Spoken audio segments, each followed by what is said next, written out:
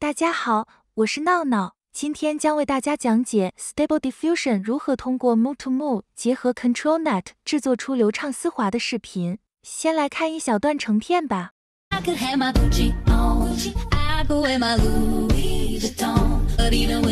人物的面部表情和手部动作控制的都蛮好。首先，我们打开 Stable Diffusion，然后要安装 Move to Move 这个插件，点击 Extensions，点击 Install from URL，粘贴 GetUp 下载网址，网址我会放在视频下方，然后点击 Install 就可以安装了。我已经安装过了，所以这里就不再点了。然后再点击 Installed 里面的 Apply and Restart UI，重启一下我们的 Web UI。重启之后，页面上面就增加了 Move to Move 选项卡。制作视频之前，我们要先通过 Image to Image 生成一张满意的参考图，先填写提示词和负面提示词，并上传一张参考视频里的截图。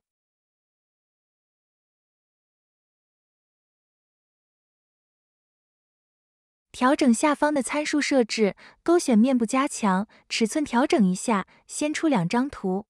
Denoising Strength 重绘幅度调到零点三五就可以了。点击出图，选取一张满意的图，点击绿色按钮获取它的种子 seed，将它的种子号记下来，后面制作视频时需要用到。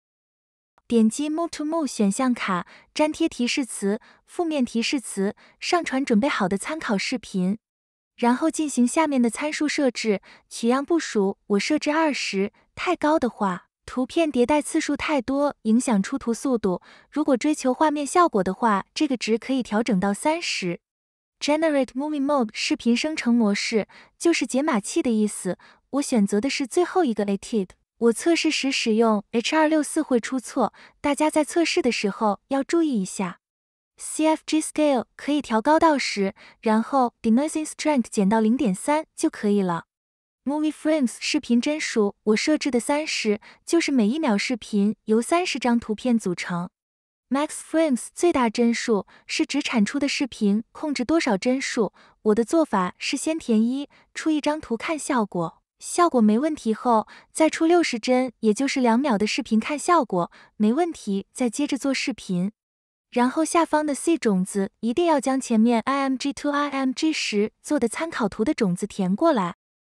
接下来我们要设置 Control Net 的参数，Enable 一定要勾选才能开启。Preprocessor 处理器我选择的是 OpenOS4，Model 也选择 OpenPose。Control Net 的1.1版本增加了许多处理器的选择，我们甚至可以使用多个 Control Net 分别控制人物的脸和手，以达到更精准的效果。大家可以自行测试，这里就不展开讲了。Control Weight 控制权重，我们调到零点二或零点二五就可以了。数值太高的话会过度控制，很僵硬。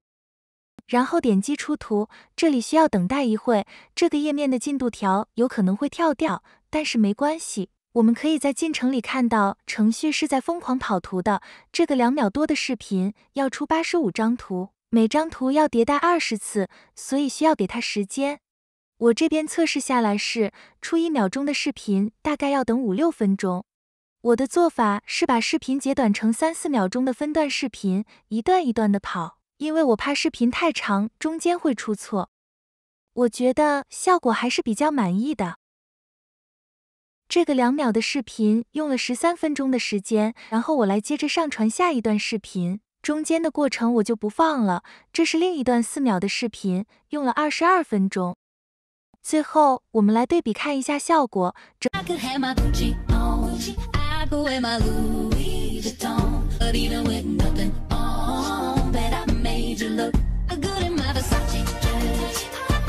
整体蛮流畅的，并且面部表情和手部姿势也很好。好了，今天的教程就到这里了，记得关注我哦。